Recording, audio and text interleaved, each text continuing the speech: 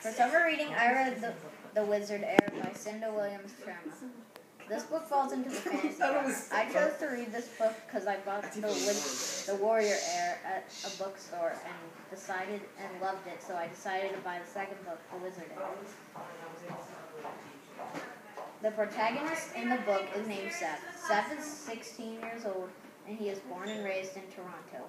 Seth is a wizard at a young age and keeps getting expelled out of his schools. At an early age, Seth's dad, who, who had adopted him, had died.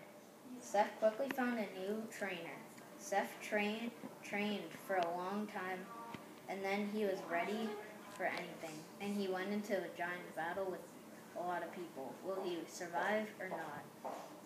The passage from the book that I read is from page 458, and it's the last sentence. It says, He would find a way to make it work because he finally understood that sometimes you have to raise your expectations, and sometimes you need to make a claim on the world and the people who you love to get what you most desire.